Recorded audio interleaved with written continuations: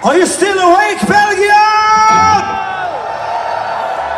Well, that's good because we got a couple of more for you. I'd like to introduce you to a, a girl that's doing a fantastic job tonight.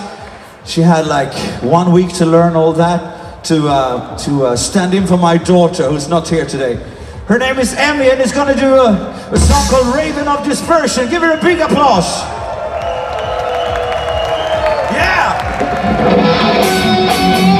you.